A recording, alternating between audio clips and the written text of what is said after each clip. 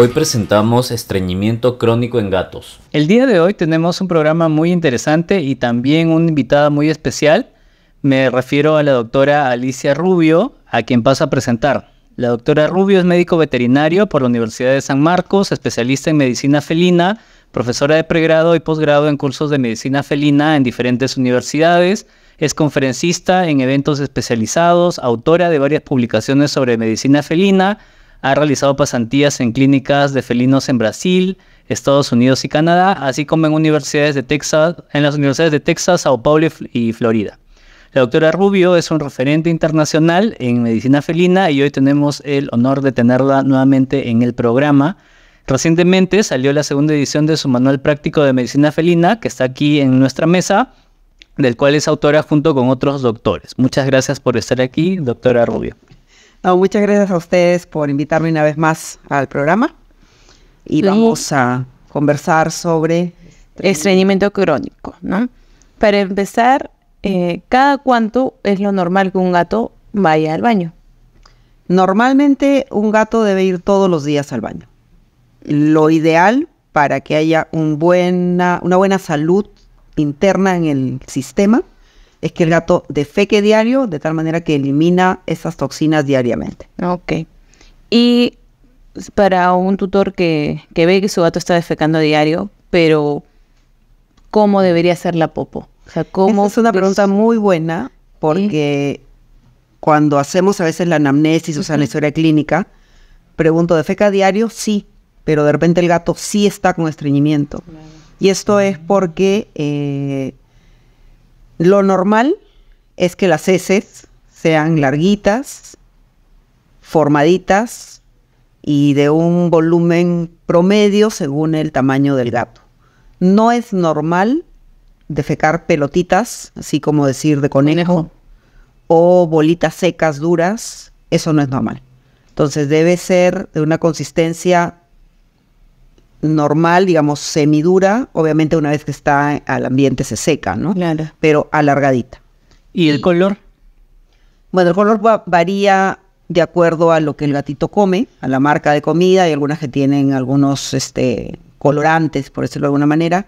Entonces, las heces de, van desde amarillo oscuro hasta marrón, marrón oscuro. No pueden ser blancas, eso significaría que no hay una sustancia que se llama biliverdina que le da color a las heces, ni tampoco negras, porque eso pudiera significar que de repente hay algo de sangre oculta. Entonces, variando en los tonos desde amarillo, mostaza a, marrón. Y tampoco debería haber rastros de sangre. Ni sangre, ni moco.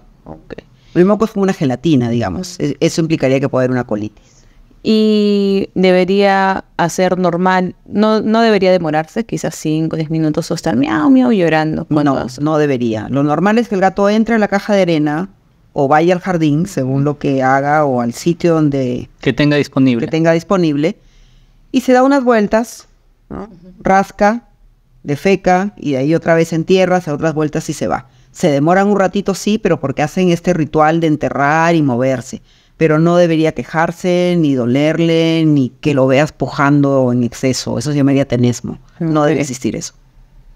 Creo que también tiene que ver con algunas posiciones en las que el gato defeca. Creo que hay algunas que indican que hay dolor o no es así. Sí, puedes ver eh, ciertas posiciones a lo normal, es la, posición que creo que todos conocemos, pero si el gato está muy abajo, puede haber dolor articular, ¿no? Si tira una pata para un costado, para otro, también puede haber dolor articular. O si el gato empieza a defecar fuera de la caja o fuera de su lugar habitual, también puede significar que algo está pasando. Ah, ok. Ok.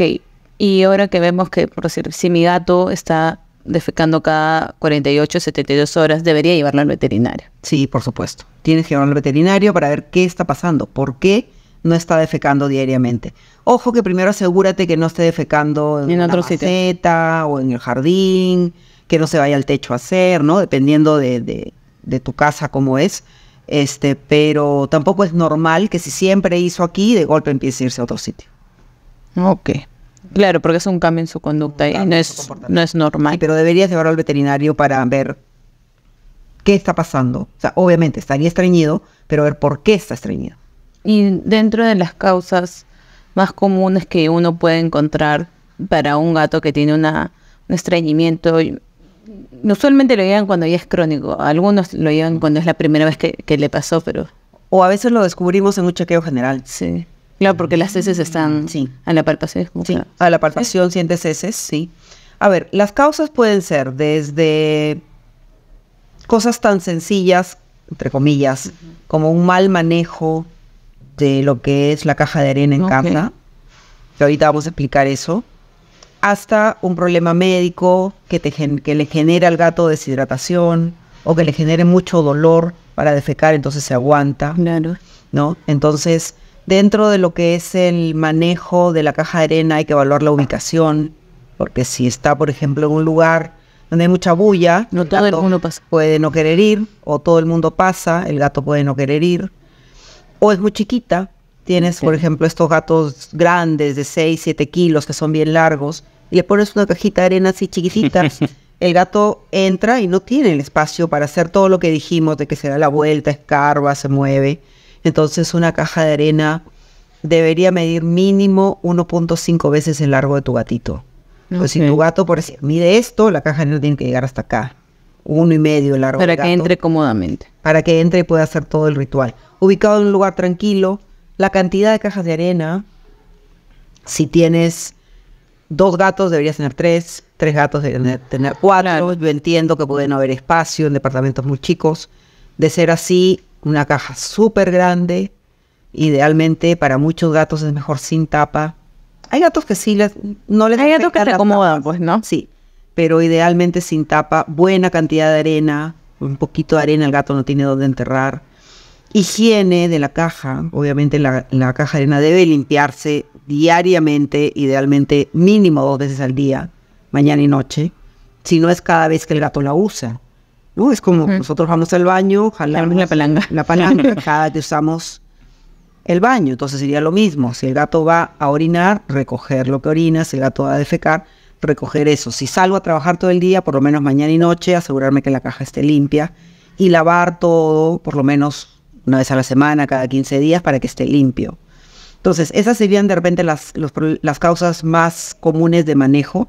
Y desde el punto de vista médico, cualquier deshidratación, ¿no? Desde que hubo vómito, diarreas o enfermedad renal o diabetes, cualquier cosa que te genere deshidratación, este, problemas a nivel de columna, problemas a nivel de cadera que generen dolor, eh, gatos que han tenido traumas, fracturas de pelvis, fracturas de fémur, entonces después de un tiempo les duele y no defecan o, el- o hay estrechez del canal pélvico, Claro. entonces se comprime el, el colon. Y hay otras enfermedades metabólicas como la hipercalcemia, el hipotiroidismo, que también te pueden generar estreñimiento. Entonces la investigación por parte del médico veterinario es amplia. Claro, tenemos que hacer como que no un, un panel básico, sino un panel bien amplio para poder descartar todo. Sí, sí. ¿Hay la posibilidad de algo neurológico? También, sí, por supuesto. Sí, sí, sí. sí. Y ya, eh, ¿cuáles son las causas más comunes, por decir, que, que me lleve al, al gato a estreñirse? Eso es lo que más se puede ver. Lo que más se puede ver es el tema de dolor. El tema de lesiones en la, en la columna, lesiones en, en la cadera, son caus- las causas más comunes de estreñimiento crónico. Ok. También puede ser un estreñimiento agudo, por ejemplo, por una pancreatitis aguda, una enfermedad renal aguda, una dieta inapropiada, poca humedad en la dieta, gatos que de repente solo comen alimento seco y no toman agua. Claro. De por sí el gato toma poca agua, entonces hay que ponerle fuentes, hay que poner recipientes en diferentes lugares. Entonces puede ser deshidratación también. He escuchado que, mm, digamos, en, en los tutores que le dan barf a su gato, cuando hay un exceso de huesos, lo que pueden generar es una obstrucción también. ¿Es cierto? Claro, o sea, bueno, se supone que en el barf no debería venir el hueso, ¿no? Lo que viene es la harina de, ¿no? Pero la harina de, eh, de hueso tiene bastante calcio, entonces la hipercalcemia te genera estreñimiento y es, es seco, entonces tienes que asegurarte de dar humedad y un balance completo. Recuerden que el gato es una especie con requerimientos nutricionales muy específicos, entonces no podemos no dar un alimento balanceado a un gato. ¿Cuál sería, digamos, mm, el, problema o las consecuencias de un tutor que espera demasiado tiempo antes de llevar a su gato que tiene un, estreñimiento a la consulta. A ver, recuerda, punto uno, que las heces son como que el conjunto de desechos de la digestión. Entonces estás acumulando toxinas, estás acumulando bacterias. Entonces el paciente a la larga empieza a tener una intoxicación a consecuencia de estas sustancias que no se eliminan.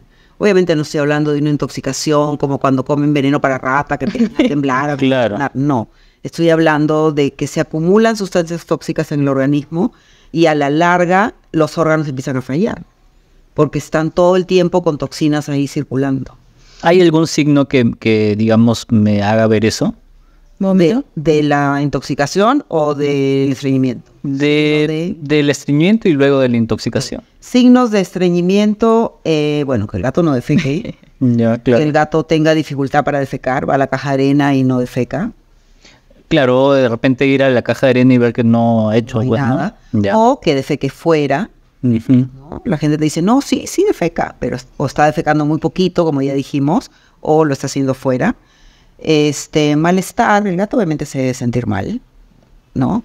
Y los signos de la intoxicación son, pues, obviamente decaimiento, deshidratación y a la larga la manifestación clínica de enfermedad renal, enfermedad pancreática, enfermedad intestinal, enfermedad hepática y también obviamente hay vómitos. Lo mencionó Alejandra hace un momento, este, porque lo que entra pues no avanza, entonces se termina regresando.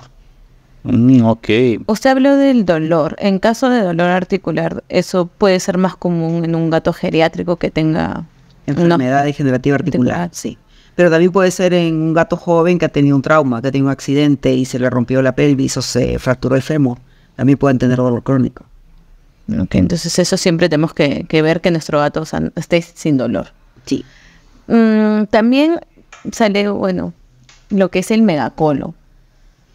A ver, el megacolon ya es una situación en la cual el colon no funciona. Ok. O y sea, eso puede ser consecuencia de un estreñimiento crónico. Puede ser consecuencia de un estreñimiento crónico, pero también puede ser el estreñimiento co- crónico a consecuencia del megacolon. Los Ok. que vino primero, el megacolon o el estreñimiento, no sabemos. pero ya llega un punto en el cual el colon no funciona. Recuerda que la función del colon es, bueno, almacenar las heces, o sea, comes, estómago, intestino delgado, trabajan todo. El colon termina la digestión, almacena heces y las debe poder eliminar una vez al día, dos veces al día. Entonces, este colon ya no se contrae para eliminar las heces y las heces se estancan ahí. Mm, ok. ¿Y qué cosa se puede hacer para evitar que el gato llegue a tener esta obstrucción? A ver, lo que pasa es que si el gato va a tener un megacolon, probablemente lo va a tener porque es una degeneración del, del, Del órgano. del órgano. Entonces, puede ser que no puedas evitarlo del todo, pero sí puedes hacer ciertas cosas para tratar de evitar el estreñimiento y llegar a eso, como pueden ser primero una buena dieta con fibra, Fibra. ¿ya? Hay comidas que tienen fibra añadida. Es, una buena comida debe tener fibra. Bastante hidratación, por lo tanto, alimento húmedo, alimento enlatado. Lo que ya mencionamos del manejo de la caja de arena, la cantidad de cajas, etcétera. Esa es la manera un poco de prevenir un estreñimiento. Entonces, si yo veo que mi gato no defeca larguito, está defecando bolitas, de repente le conviene un cambio de comida, una comida con más fibra, o, va- o darle más latas, o ver la manera de que tome más agua. Mm, claro, claro. ¿no? No siempre les gusta tomar agua, así que tendrá que ser alimento húmedo para que... Ujú. Y en caso de que sí sea un, un tema de megacolon, ¿cómo podemos llegar al diagnóstico o, y qué, podemos, qué, qué tiene que seguir el, el tutor? O sea, en general el diagnóstico de estreñimiento, sea estreñimiento simple o megacolon. Hay que ver la causa. No, bueno, el diagnóstico primero de que el gato no está defecando correctamente se hace a través de la palpación abdominal. El veterinario debe palpar y se sienten las heces, a menos que sea un gato gordo o obeso, en donde no puedes palpar nada. Y de ahí pasas a una radiografía abdominal. Abdominal lateral puede ser suficiente y ves las heces, ves la cantidad, el grosor y ves qué tan secas o no son las heces. O sea, radiográficamente, según el color de las heces, o sea, qué tan blancas o grises estén, puedes definir si están muy secas o no. El grosor del colon te ayuda a determinar si ya llegamos a megacolon o no. Entonces, con eso diagnosticas estreñimiento. Ok. Pasarías al tratamiento para hacer el gato defeque, Ok. ¿no? Y de ahí tú ves si esto repite. Si repite, repite, repite, ya lo más probable es que tengas un megacolon, un colon que no funcione, o haya algo totalmente mal manejado en el medio ambiente o la dieta sea inapropiada. Entonces, tienes que hacer varias cosas en el tratamiento y, si- y según la respuesta al tratamiento defines si esto es, si fue agudo o es crónico. Y en caso de que ya, yo diga, este gato tiene constipación crónica, nos queda apoyarnos en dieta, probióticos, o sea, ¿qué tratamiento para, como apoyo más que todo? Como ¿no? apoyo en algo crónico. A ver, lo primero es sacar esas heces de ahí. Ya. ¿ya? Para sacar las heces de ahí, te ayudas con supositorios o enemas. Si eso no funcionara, que a veces ocurre, a veces hay que sedar al gato para hacer una extracción manual y con lo que se llama ordeño del abdomen, o sea, masaje, masaje para botar las heces, ¿no? Previo enemas y ablandando las heces. Eso no es en todos los casos. La mayoría con supositorios y o enemas trabajan. Este, una vez que sacaste todas las heces, te apoyas en la dieta con fibra, asegurar la hidratación. Si eso no es suficiente, hay que usar laxantes, o sea, sustancias que hagan que las heces sean más suaves, más blandas, de tal manera que pasen más fácilmente y para el colon sea menos trabajo expulsarlas.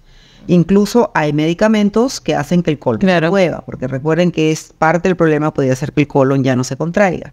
Entonces utilizamos lo que se llaman los prokinéticos, que son drogas que aumentan el movimiento intestinal, peristáltico intestinal, en este caso del colon.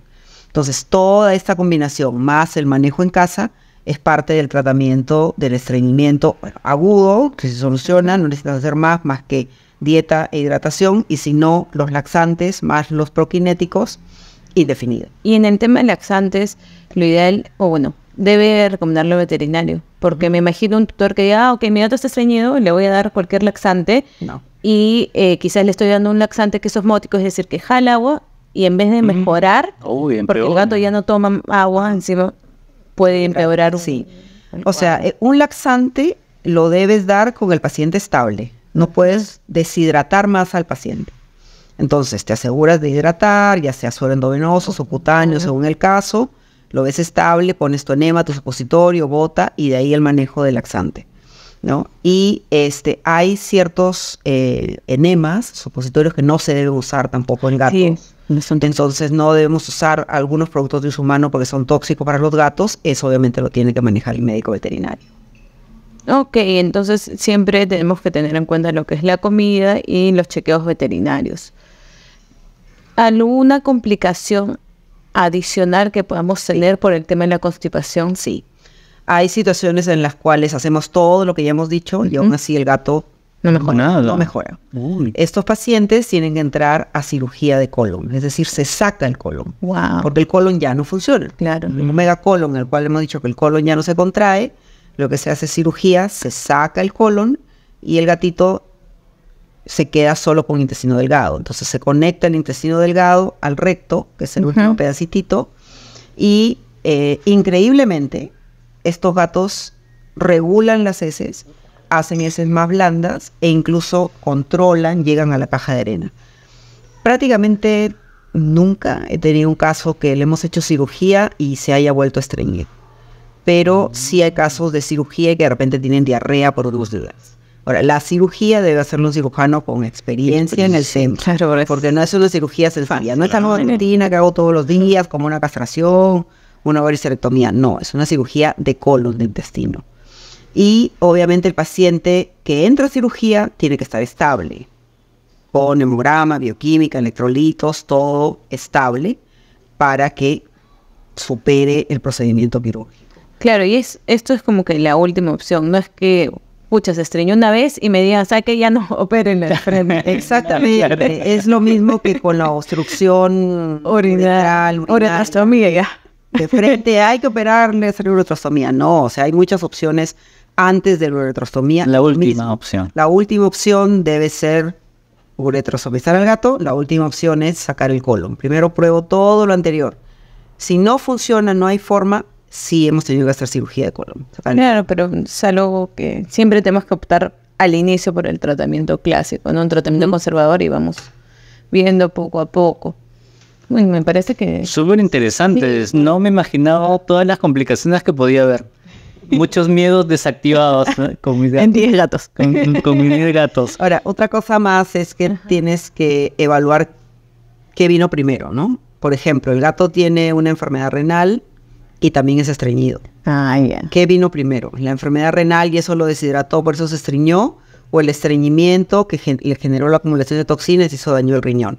Tienes que, en muchos pacientes, manejar varias cosas al mismo tiempo. Wow. Manejar estreñimiento con renal, de repente con cardíaco, que también le puede generar la deshidratación, con boca, con todo. Entonces ahí es donde haces la, la medicina interna completa y el tutor tiene que entender y cooperar Claro, hay que ver si esta constipación simplemente no es un signo de alguna De otra algo más. enfermedad más. Exactamente. A veces hay desórdenes electrolíticos, ya hablamos del calcio, Claro. la hipercalcemia, pero también podemos tener disminución de potasio, hipocalemia, que puede deberse porque el mismo intestino no está trabajando bien, no absorbe bien el potasio, o porque el riñón lo está eliminando en exceso. Entonces son un montón de cosas que tienes que evaluar. ¿Qué vino primero? La tiroides. Claro, un cierto, El hipotiroidismo. hipotiroidismo es Bien raro. Solo existe en gatos chiquititos, en teoría, Ujú. y en cachorros, pero de todas maneras hay que medirla. Claro, pero en ese caso puede ser que hay una enfermedad que causa un hipotiroidismo y el hipotiroidismo me causa el estreñimiento. Exactamente. Entonces Wow. tengo que ir viendo Ir qué, viendo qué está pasando. La ruta del problema. Así es. Bueno, creo que hemos eh, abarcado Ah, bastante sí. sobre este tema. De verdad, Muy estoy interesante. fascinado por lo, por lo interesante y, y por todo lo que puede generar. Bueno, entonces, eh, a la doctora Alicia Rubio la pueden encontrar en la clínica veterinario Rubio, que está en Magdalena del Mar. Siempre me olvido la dirección. No, es María Parado de Bellido o Diego de Gavilán. La calle tiene dos nombres. 214 en Magdalena del Mar. Y los números para la previa cita. 461-6565 y el 99870-5268. Muy bien, entonces no se olviden previa cita. Muchas gracias, doctora, por haber venido a esta, a esta nueva entrega de, de La vida con gatos. Y nos quedamos acá y nos vemos en un próximo programa. Chao. Chao, chao. Gracias, chao. Seguramente en más de una ocasión te has hecho preguntas como estas sobre el cuidado de tus gatos. Por eso hemos creado el Dato Gatuno, un grupo de Telegram donde encontrarás las respuestas. Si tienes una consulta o recomendación sobre un producto o servicio, si quieres difundir una iniciativa gatuna o encontrar una campaña de esterilización, este grupo te puede servir. Así que ya lo sabes, únete porque mientras más seamos, más información tendremos. Encuéntranos en Telegram como el Dato Gatuno.